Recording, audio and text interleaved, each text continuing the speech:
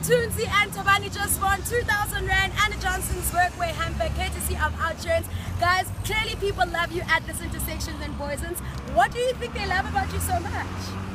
Firstly, I think that that's because we are so confident about what we are doing and uh, we always put it this smile on our face. Yeah. Communicating what we're doing. So you're friendly, you and Mthunzi, when you feel how do you feel?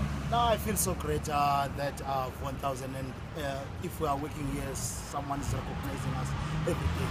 Yep, and if you have a favorite pointsman, share their story, and they could be like Mthunzi and Tobani and win big Outsurance.